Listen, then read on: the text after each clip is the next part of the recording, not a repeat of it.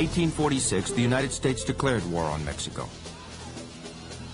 Two years later, the war was over, and Mexico had lost half its territory.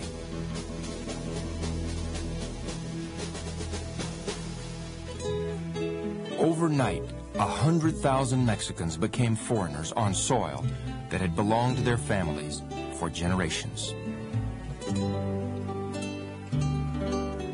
The Treaty of Guadalupe Hidalgo promised these new Americans free enjoyment of their liberty and property of every kind.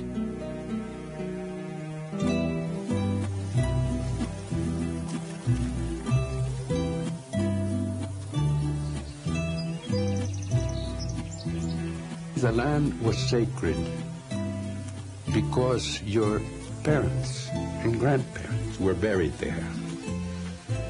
Some of your children were buried there. And you would be buried there. So the sweat blood and tears of generations have filtered into the land.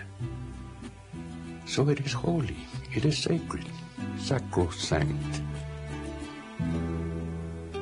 But the original land grants had been given under Spanish and Mexican law, which U.S. courts often did not recognize.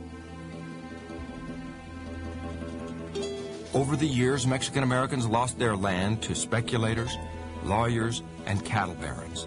Some property was taken by force.